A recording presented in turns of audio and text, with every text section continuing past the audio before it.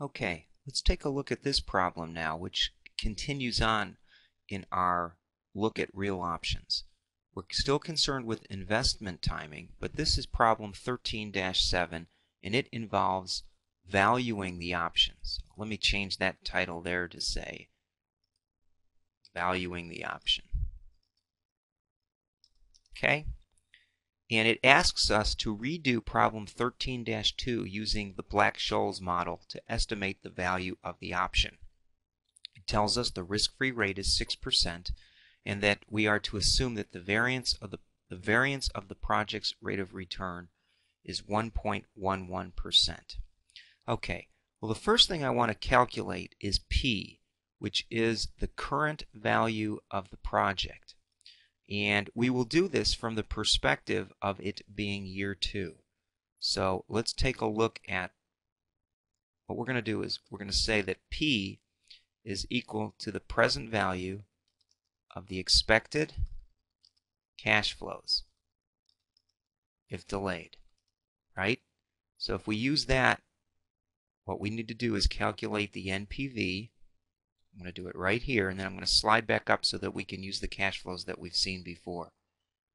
Okay, we need to, the rate was given on our earlier problem, and you'll see that I actually have the earlier problem above here. So um, this is from the last demonstration, which was problem 13-2. Let me slide all the way up and you'll see it. See, here's 13-2, the problem, then a layout of the cash flows, and then we solved it. We solved part A here, and we solve part B here.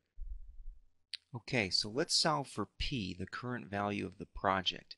And to do that, we first have to determine the net present value of the cash flows.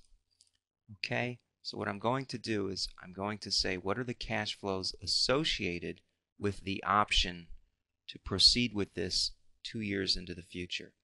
So we'll use the NPV formula again and I'm going to slide up. We'll use the 10% from before. And now for the, the cash flow ranges, let me hit the F2 so you can see this. Um, here, let's start this again. Equal NPV, hit the left paren, and I can hit the formula bar, and now we get the function arguments.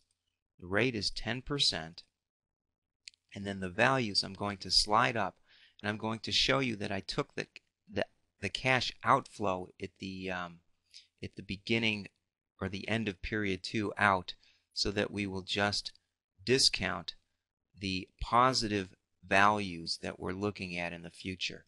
And we're going to look at for all six periods. So we have two years where nothing happens and then the cash flow begins. That gives us our net present value, which tells us the current value of the positive cash flows from the option. I slide down, I get 11. It's 11 million. For the 90% option, for the 10% option, I get 5.76. Then I need to determine the present value of the expected cash flows if it's delayed. And we take the 11 million times the 90% option, and we add to it the 5.76 present value of the expected cash flows times the 10% probability that that will occur. Now we've accounted for 100%. We can hit enter. And there's the formula again. You can see it up here. And what we what we come up with is P, the Black-Scholes model, where we need P, the current value of the project, to sell for it, is equal to 10.48 or 10.48 million. Okay, now let's drop in the other variables that we know. Um, we know that X stands for the cost to implement the project, and that is equal to 9 million, right? And we know that T, the time in years until the option expires, is two years. Beginning now, the option comes up in two years. I believe in the problem they tell us right here the risk-free rate of return is 6%.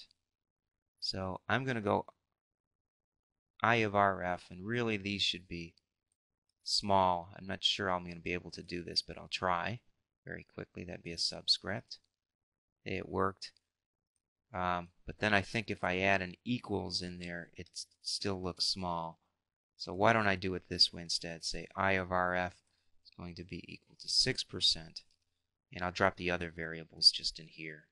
Okay. Um, and I think that'll, I think we'll be able to follow that without a problem.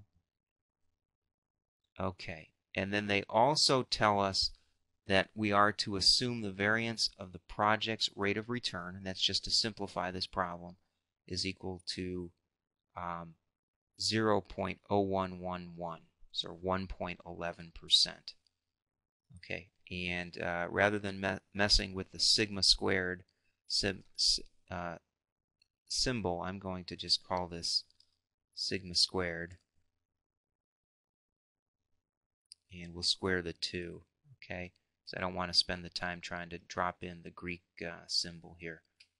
Format that. Make that a superscript. And so the variance of the project is equal to uh, 0.0111. Okay, or 1.11%.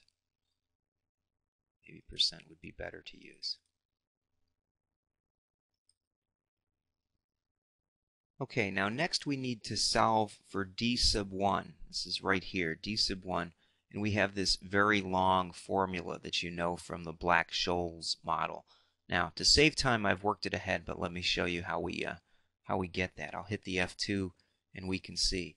Okay, so on the numerator, we take the natural log of what's in cell H53.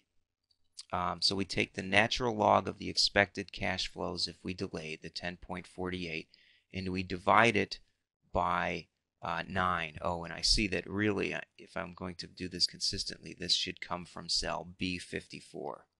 So I'll change that with B54. Let me hit enter just to make sure I didn't goof it up, and I didn't. And then also in the numerator, besides taking, taking the natural log of uh, that first term, we need to take the interest-free rate of return, the interest, the risk-free rate, I mean, 6%, and then add to it um, uh, the variance of the project's rate of return divided uh, divided by 2 okay? And multiply that times the time in years until the option expires once we have that we divide it by right above my mouse here we divide it by the uh, variance of the project's rate of return um, which is multiplied by the time in years and both of those are taken to the uh, uh, to, to a power of one half. Okay. And, and you and from your algebra you remember that the easiest way or one way to break that down would be to simply take take it to the power of one half and multiply it. Um, so we take the value in B57, the 1.11%, raised to the power of uh, 1 half, and then we multiply it times the value of B55, which was t, the time in years, also raised to the power of 1 half. And when we do that, we come up with the value of d1 would be equal to 1.900 millions of dollars. Next, we need to figure out what d2 is. Okay, now I've worked that ahead as well. And let me hit the F2 so you can see how I got it. D2, so you can see up here, we take the value of D1, so we start with the value in what in was in cell B58 and then we subtract from it um, the standard deviation of the project's rate of return. So we take the variance and we raise it to a power of 1 half, right? And then we multiply that times the time horizon, the time in years until the option expires. We have that in cell B55 and that also is raised to a power of 1 half. When we do that, we come up with the value of D2 as being 1.75 millions of dollars. Okay, next we need to determine the um, the uh, normal cumulative distribution. And we find for, for D1 and D2 and I did this using Excel. Okay and let me call up what the function it's called the norm s dist function, it returns the standard normal cumulative distribution from the value you provide. And we need to find the value for um, B58, the D1 value that we already calculated, it comes out to be 0.9713. Then we do then we can simply copy that down and we get 0.96 um, we find the normal cumulative distribution for D2. We get 0.9602. Okay, now we have one more last step to, term, to determine the value of the option. Okay, and then the last thing we need to calculate is what we were after, after which is the value of the the value of the option. And we use this very complicated formula you see here. Uh, I've worked it ahead of time, so let me show you what I've done here. I've taken the value in H cell H53, which is our present value of the expected cash flows, the 10.48 million, and then we multiply it times um, uh, the cumulative distribution for D1, the 0.9713, minus X, which stands for the cost to implement the project, 9 million, that's given by cell B54, times the mathematical constant E. And you can get the mathematical constant E by using the Excel formula EXP. So if we take EXP for a value of 1, you come up with E, and that's our EXP left paren 1 close paren. And then we need to take that to the power of the risk-free rate, which is given in cell B56, which is 6%, multiplied by the value t, which is uh, the time horizon, which is given um, in 2. Time horizon or time in years until the option expires. And then once we have all of that, we need to multiply it times the cumulative uh, distribution for D2 and that's given in cell um, B61 right there. And when we enter all of that, you should come up with an answer of 2.51. If you rounded it and used a different technique, you may come up with 2.514 as opposed to what I've gotten, which is 2.515, which is the value of the option.